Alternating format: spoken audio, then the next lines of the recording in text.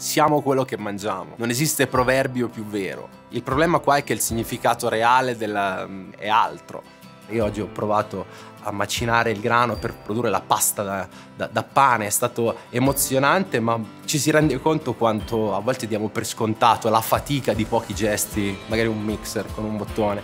Qua si parla di eh, sostenere il proprio fisico, sostenere la crescita di un bambino e soprattutto riuscire anche a poter sostenere le eventuali animali o colture che le famiglie possono avere in, nelle migliori delle ipotesi.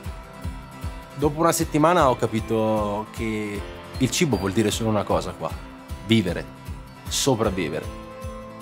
E questo cambia tutto.